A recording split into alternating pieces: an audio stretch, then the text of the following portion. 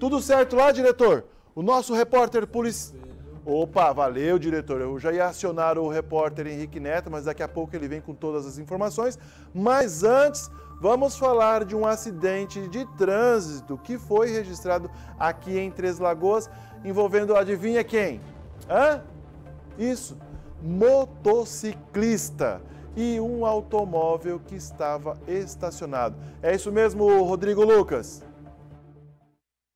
Pois é, Israel, mais um acidente de trânsito registrado aqui na cidade de Três Lagoas, dessa vez em uma das principais avenidas, a Filinto Miller. Eu estou aqui com o proprietário do veículo, o Matheus. Matheus, conta pra gente como é que foi que você ficou sabendo desse acidente.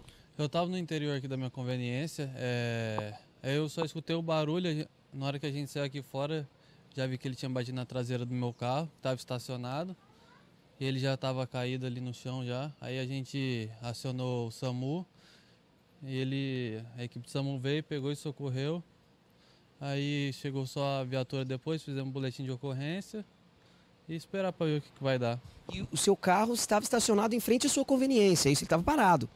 Sim, estava, estava estacionado na frente da conveniência. Aí a gente só escutou o barulho, gente, na hora que a gente saiu aqui fora, já, ele já estava no chão já. E, e, ele tinha um passageiro também, né? Um, um rapazinho que estava com ele. O, o, rapaz deu mais detalhes de onde eles estavam, o que, que eles estavam fazendo? Pelo que o, se eu não me engano, é filho dele, que o menino que estava com ele na moto, falou que eles estavam em uma festa. Aí estava indo embora e aconteceu o acidente. Provavelmente desatenção aqui nessa via, tem um grande fluxo de veículos. Você levou o veículo para consertar e agora o prejuízo vai ser grande, né? Ah, vai. Eu acredito que e vai ficar em torno de uns 3, 4, fácil. Isso que você vai ter que arcar, né?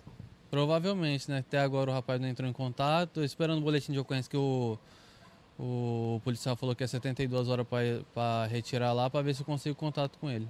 E também fica o susto, né? Porque você falou que você tem a sua esposa, tem a sua filha pequena, que poderia estar dentro do carro e poderia ser algo maior, né?